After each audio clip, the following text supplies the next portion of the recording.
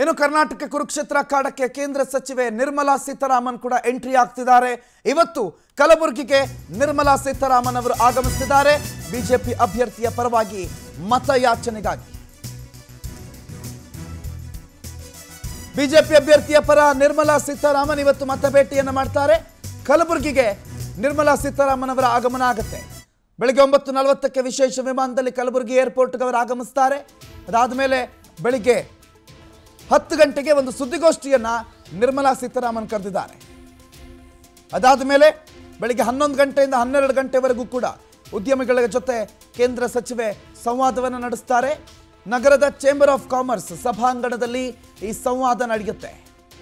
ಆ ಸಂವಾದ ಕಾರ್ಯಕ್ರಮದ ನಂತರ ಮಧ್ಯಾಹ್ನ ಹನ್ನೆರಡು ನಲವತ್ತೈದಕ್ಕೆ ಆಳಂದ ಪಟ್ಟಣದಲ್ಲಿ ಮಹಿಳಾ ಸಮಾವೇಶದ ಆಯೋಜನೆ ಮಾಡಲಾಗಿದೆ.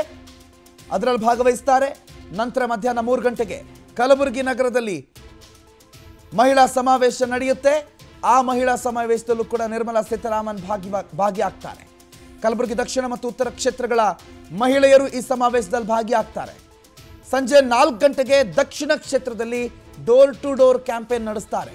ಮನೆ ಮನೆಗೆ ತೆರಳಿ ಪ್ರಚಾರವನ್ನು ನಡೆಸ್ತಾರೆ. ಅದಾದ ಮೇಲೆ ಐದು ಇಪ್ಪತ್ತಕ್ಕೆ ಕಲಬುರಗಿಯಿಂದ ಬೆಂಗಳೂರು ಕಡೆಗೆ ಕೇಂದ್ರ ವಿತ್ತ ಸಚಿವೆ ಆಗಮಿಸ್ತಾರೆ.